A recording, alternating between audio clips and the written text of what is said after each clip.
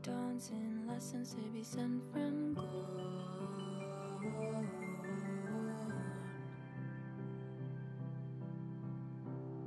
He'd like his light to shine on you.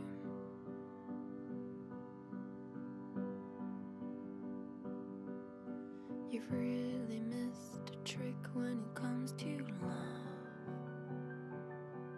Always seeking